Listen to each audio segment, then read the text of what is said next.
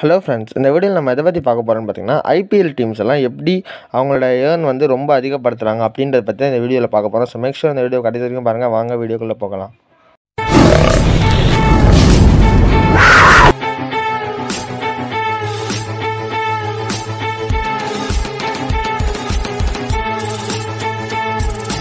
நீங்கள் என்னைக்காவது யோசிச்சு பார்த்துருக்கீங்களா? அதாவது ஐபிஎல் ஃபைனல் ஜெயிக்கிற டீமுக்கு வந்து ப்ரைஸ் அமௌண்ட் வந்து ஃபிஃப்டீன் crore தான் கொடுப்பாங்க. ஆனால் அவங்க வந்து ஒரு பிளேயரை வாங்குறதுக்கு கிட்டத்தட்ட பதினாறு பதினேழு கோடி ஸ்பெண்ட் பண்ணுறாங்க அப்படி இருக்கும்போது அவங்க எப்படி இது மூலமாக ஏர்ன் பண்ணுறாங்க அப்படின்றது தான் இந்த வீடியோவில் பார்க்க போகிறோம் ஸோ இது ஏர்னிங் வந்து மொத்தம் மூணு வகையாக பிரிக்கப்படுது. முதல் வந்து என்னென்னு பார்த்தீங்கன்னா மார்க்கெட்டிங் பெனிஃபிட்ஸ் ரெண்டாவது பார்த்தீங்கன்னா சென்ட்ரல் ரெவன்யூ மூணாவது வந்து பார்த்தீங்கன்னா லோக்கல் ரெவன்யூ இந்த மூணாவை பற்றி தான் இந்த வீடியோவில் பார்க்க போகிறோம் முதல்ல நம்ம வந்து மார்க்கெட்டிங் பெனிஃபிட்ஸ் அப்படி ஆரம்பிக்கலாம். நீங்கள் என்னைக்காவது நோட்டீஸ் பண்ணியிருப்பீங்களா கண்டிப்பாக பண்ணியிருப்பீங்க இது அதாவது நீங்கள் ஐபிஎல் மேட்ச் பார்த்துட்டு இருக்கும்போது பிளேயர்ஸ் வந்து நடுவில் வந்து ஆட்ஸில் வந்து டான்ஸ் ஆடுறதா இருக்கட்டும் இல்லை பாட்டு பாடுறதா இருக்கட்டும் இதெல்லாம் நீங்கள் பார்த்துருப்பீங்க. அவங்க வந்து அந்த மாதிரி பண்ணும்போது அவங்களுக்கு வந்து அந்த பிராண்டு வந்து காசு கொடுக்க மாட்டாங்க. ஆனால் அந்த அவங்க எந்த டீமை ரெப்ரசன்ட் பண்ணுறாங்களோ அந்த டீமுக்கு வந்து அவங்க வந்து காசு கொடுப்பாங்க.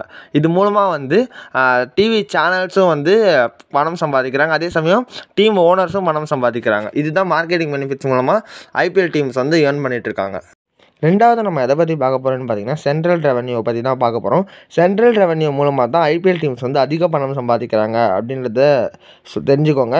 அதாவது என்னன்னு பார்த்தீங்கன்னா டிவி ப்ராட்காஸ்ட் பார்ட்னர்ஸ் இருக்காங்களே அதாவது முதல்ல ஐபிஎல் ஸ்டார்ட் ஆகும்போது சோனி சேனலில் தான் போட்டுட்டு இருப்பாங்க அதாவது பத்து வருஷத்துக்காக அவங்க வந்து மொத்தம் ஃபோர் தௌசண்ட் க்ரோர் வந்து ஸ்பெண்ட் பண்ணியிருந்தாங்க.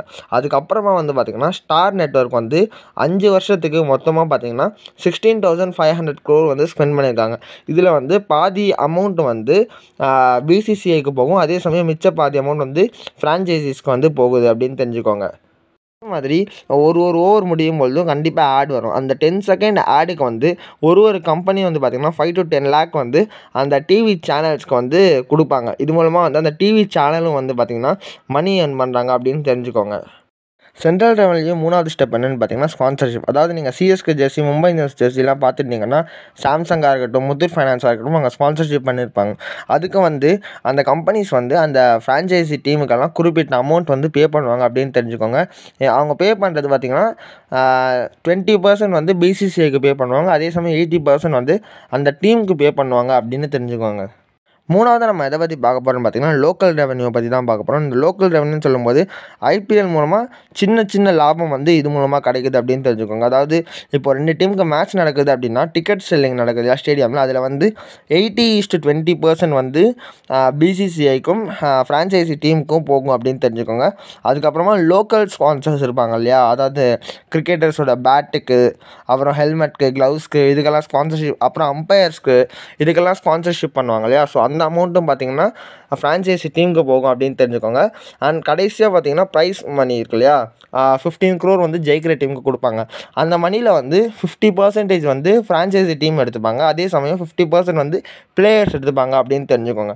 அதே மாதிரி எதாவது டீம் வந்து டாப் ஃபோரில் குவாலிஃபை ஆனாங்கன்னா அவங்க ஆட்டோமேட்டிக்காக சாம்பியன்ஸ் லீக்கும் குவாலிஃபை ஆகிடுவாங்கன்னு தெரிஞ்சுக்கோங்க.